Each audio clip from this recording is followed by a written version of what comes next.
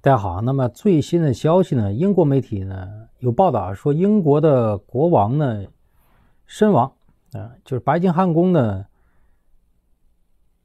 查理三世去世。那伊莎白二世的儿子啊登基不到一年，加冕呢是二三年的五月六号举行，他现年七十五岁啊。但是现在呢，英国媒体还有一种说法，现在白金汉宫否认啊国王去世的消息。那么现在他还活着啊，但是没有具体报道他目前的身体状况，很有可能他的情况呢与这个凯特啊王妃失踪有关。英国的这个凯特王妃啊，实际上呢已经失踪很久了啊，那么很有可能啊，凯特王妃啊，她的失踪导致英国国王。身体出现变化啊，我呢会持续关注啊。如果英国国王啊这个查理三世去世的话，那么凯特王妃的丈夫将继任英国国王啊，那么是英国再次啊不到一年进行加冕仪式。今天呢乌克兰的情况呢，给大家介绍一下啊。首先呢，俄罗斯大规模空袭了乌克兰的尼古拉耶夫。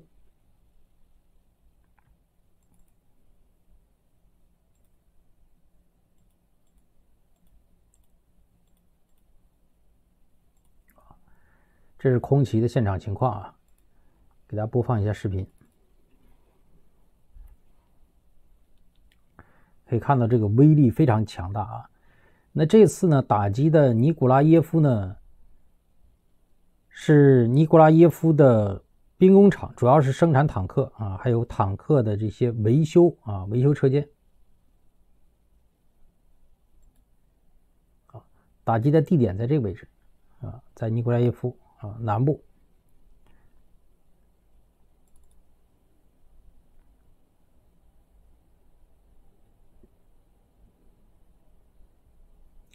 俄军呢是使用了伊斯坎德尔导弹啊，但是呢，俄罗斯的媒体呢还有一种报道啊，使用的是一种。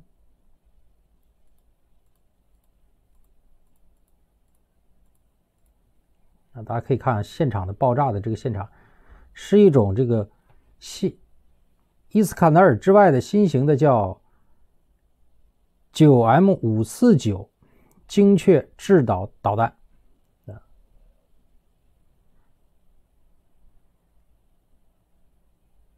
这个九 M 五四九导弹呢，它的精度更高啊。那俄军曾经在二零二二年夏天呢，摧毁乌军弹药库时使用过这种导弹。所以这次呢，打击尼古拉耶夫的，从这个画面中可以看，它是非常细长的，和伊斯坎德尔不同，很有可能就是这个，呃，九 M 五四九导弹，而不是伊斯坎德尔。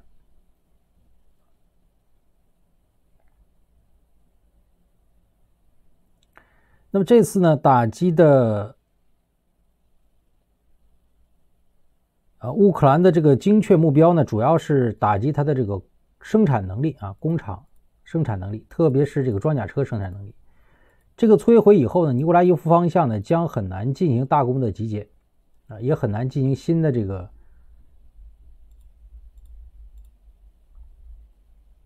坦克的这个维修。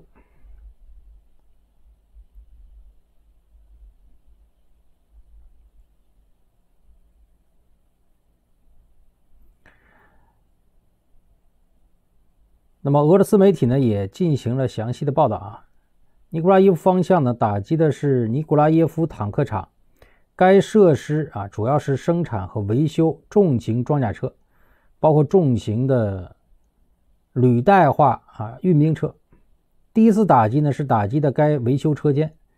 该车间在过去一年中进行了现代化改造，主要能够维护德国和英国的坦克。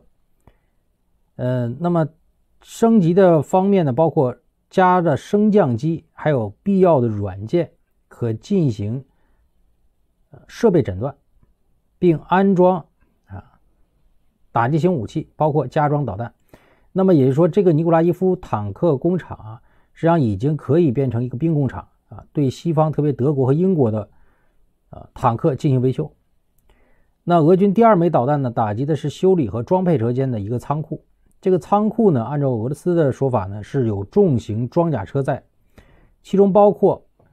豹式坦克和挑战者二坦克。也就是这次呢，第二次打击的这个仓库摧毁了豹式坦克和挑战者二坦克。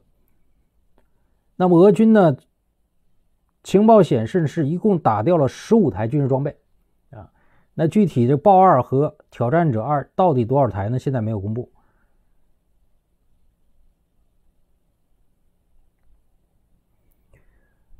俄军打击这个方向的主要原因呢，实际上呢和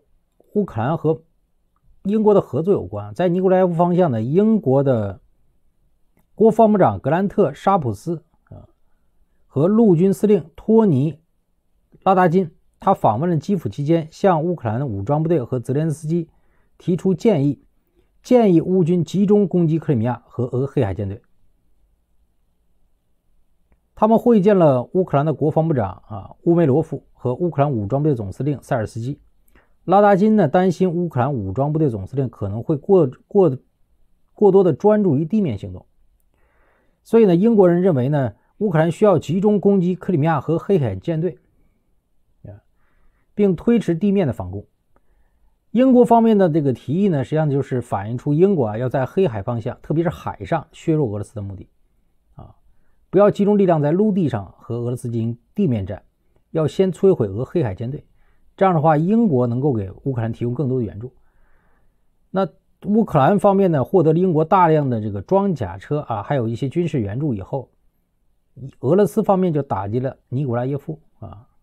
英国的这个兵工厂，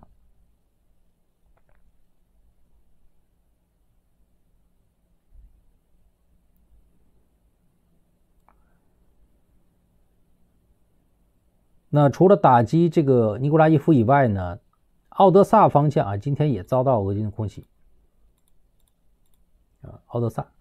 奥德萨呢，打击的地点呢是在奥德萨的这个北部啊，大家看啊，北部三个位置。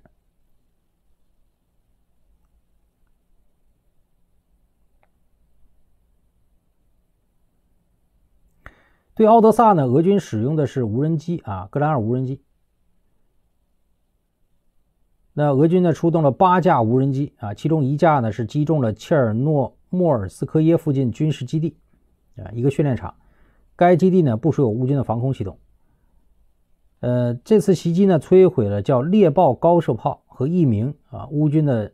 操作员，两名军人被严重烧伤。另外有三架无人机成功打击了叫。帕利耶夫卡北部，啊，一个无人无人艇的仓库，呃，现场发生大规模爆炸，啊，摧毁了八到十台的无人艇。另外有五架无人机呢袭击了该地区乌军临时后勤基地，地点呢是在奥德拉多夫卡。仓库呢过火面积达到三百平方米，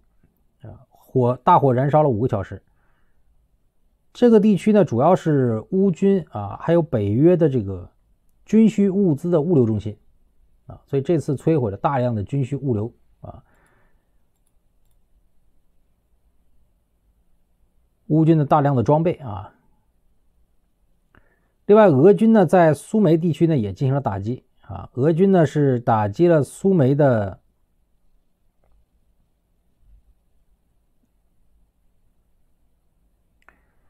叫科诺托普，这个科诺托普呢是一个维修厂啊，是要飞机维修厂。这次打击呢，主要是打击它的维修车间。那这次打击导致乌军的第二十七炮兵旅啊高级指挥官丹尼斯·萨夫琴科阵亡。啊，二十七旅啊已经发布了这个公告。他是在一栋公寓楼内啊被打死的，与他一起死亡的还有两人，另外两人拒拒绝啊，乌克兰方面拒绝公布最新的这个死亡信息啊，是在苏梅啊苏梅这个方向。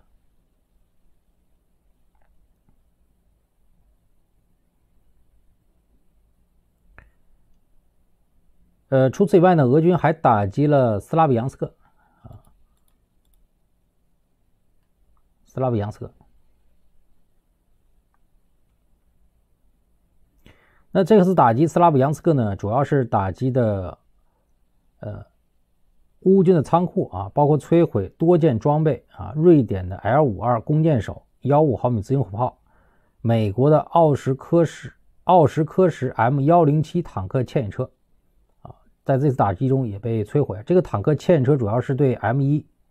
埃布拉姆斯坦克进行救援运输。另外呢，乌军呢是。呃，维修保养基地，实际上呢处于一种瘫痪状态啊，这是也是打击的这个东部地区啊最重要的物流点。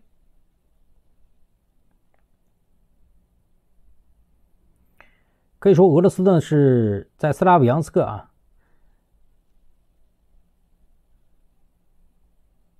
那么首先呢是顿巴斯的游击队啊，主要是掌握了情报啊，用利用两天的时间。向俄罗斯方面传递了具体的信息。俄军呢发射两枚高精度导弹，啊，目前这次打击造成人员死亡达到十八人，二十五人不同程度受伤，啊，也是俄罗斯的这个游击队啊在顿巴斯地传递的情报。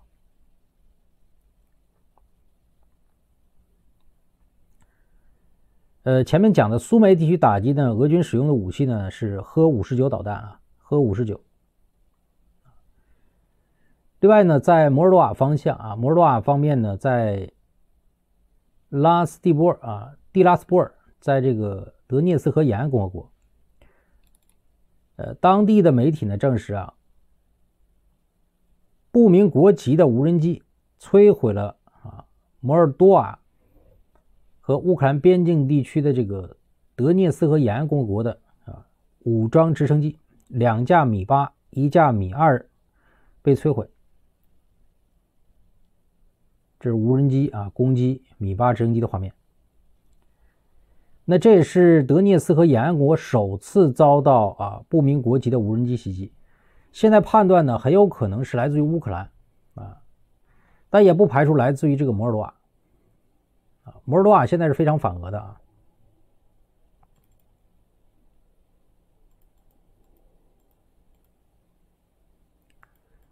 摩尔多瓦的总统桑杜呢，也对俄罗斯总统普京啊这次大选发表了讲话。桑杜的说法呢，俄罗斯这个大选呢并不是民主选举啊，啊，很多这个反对派呢被消失啊，所以摩尔多瓦方面呢是不会祝贺普京的。另外，德涅斯特河左岸共和国的这个外交部呢，周日对军事单位发动无人机袭击，认呃认为是恐怖袭击事件。外交部指责摩尔多瓦政府在蒂拉斯布尔恐怖袭击中鼓励侵略。那么，德涅斯河沿岸共和国认为呢是摩尔多瓦啊，他的无人机攻击了德涅斯河沿岸共和国啊。那现在罗马尼亚包括摩尔多瓦呢，现在正在和北约合作啊，在边境地区扩大军事基地的建设。那在罗马尼亚方向呢？北约呢准备修建啊，北约历史上最大规模的这个空军基地。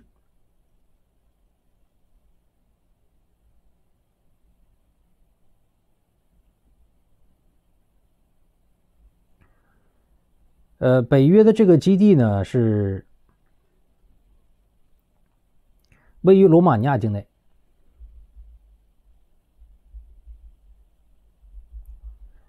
耗资是二十五亿美元啊。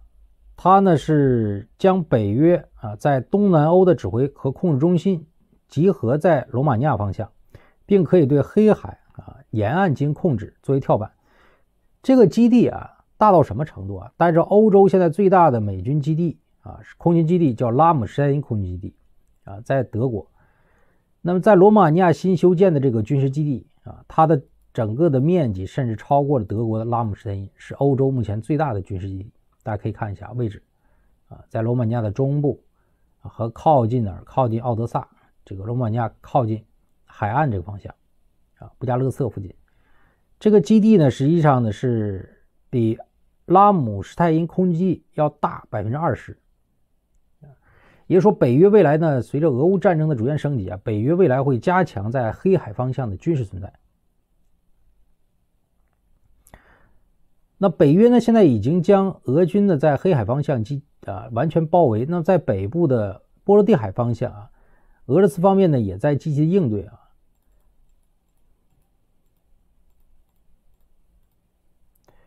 波罗的海方向呢，俄罗斯方面呢进行了电子战啊干扰。俄军呢在加里宁格勒地区部署了电子战设备啊，大家可以看，在加里宁格勒，在这个位置，这个电子战系统呢是满负荷运行啊，所以西方特别是英国国防部长的这个军机在通过波罗的海方向的时候经常失联。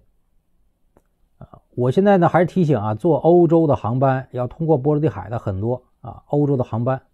在这个区域啊进行飞行的时候，很容易什么失联，啊，就对外也获得不了信号啊，对内呢实际上也很难传递。那这个方向呢，主要是应对北约啊在白俄罗斯和波罗的海啊，俄罗斯的加里格勒地区啊进行大规模的这种。军事部署啊，所以俄罗斯加强了电子战系统。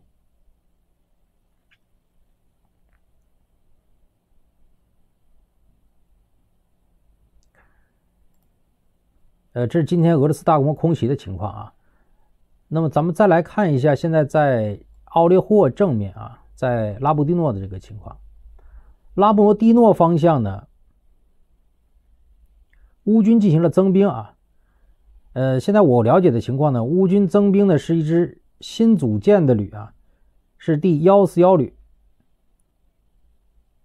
那么拉博蒂诺方向呢，乌军呢是从二三年的夏季开始进攻，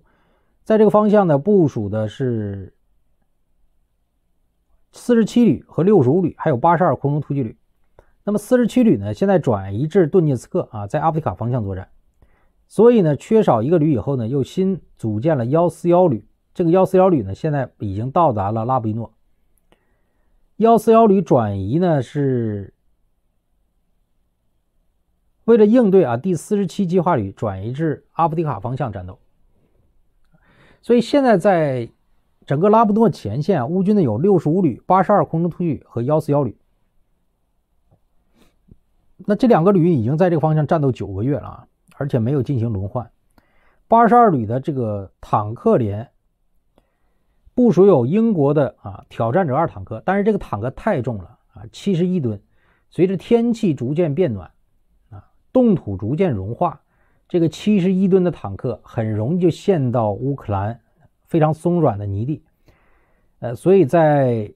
拉伯蒂诺方向啊，乌军装备的这个挑战者二坦克，它很难再进行大规模的机动了。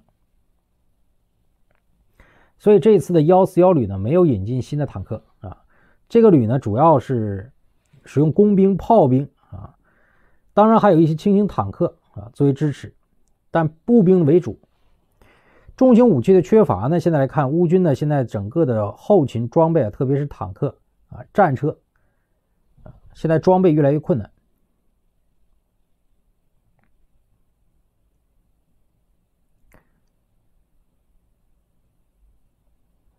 这个幺四幺旅呢，未来的整个战斗能力啊，还有待观察，主要是在拉布伊诺方向啊。这是今天呢，在扎布洛方向啊，以及在黑海啊，尼古拉耶夫、奥德萨的最新消息啊。那随着俄乌战争的升级呢，未来在黑海方向啊，这个英国未来可能会说说服啊基辅大规模的登陆克里米亚。啊，所以英国现在是积极的想要英国啊和乌克兰合作对克里米亚发动攻击，而这个情况呢可能会导致什么？导致整个俄乌战争由过去的这个北部哈尔科夫和顿巴斯啊为主，转移至克里米亚，